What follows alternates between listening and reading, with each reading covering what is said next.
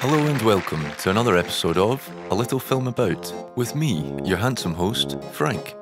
This week we're in the northwest of England and we're about to meet an artist doing some rather wonderful things with eggs.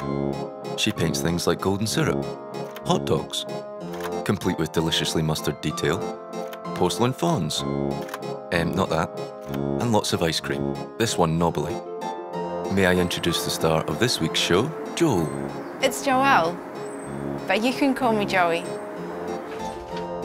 I'm not quite sure how I would define myself. On my tax return, I put artist slash illustrator. Growing up in New Zealand, when you leave a country and go to another country, you notice the differences. I like the food to have a little maybe something extra that kind of tells a little bit about the place where I'm painting it and the people here. When I have an idea of what I want to paint, I just have to think where's the best place this is going to come from. Sometimes I might have to make it or grow it. Look, the perfect purple sprouting broccoli. The perfect rhubarb.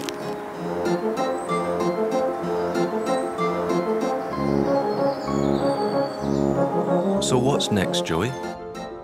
I take a whole load of photographs and maybe a whole load more again and again until I've got it just right. And then I'll Photoshop bits together because it is hard to get the perfect drip or the perfect scoop. Here's Joey, relaxing with some ice cream. One of the perks. Joey paints onto special panels called gesso boards. This looks like a labour-intensive process, Joey. I usually prepare like a number of boards at once because it is a long process. There has been times where I've been getting up at two o'clock in the morning just to finish off the gesso.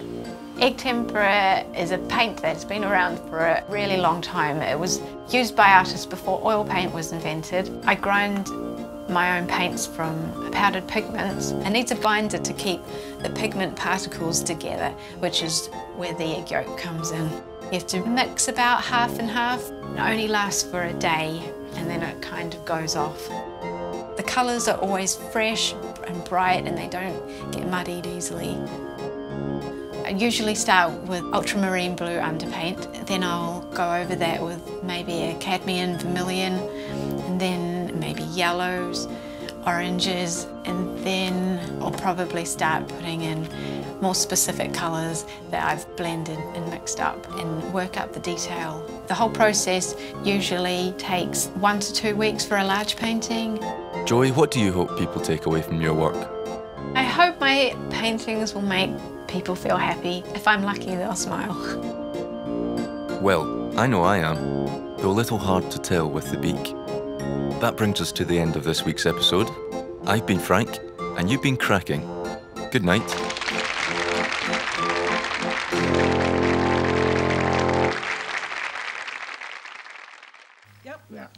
Okay. So you've got. You've got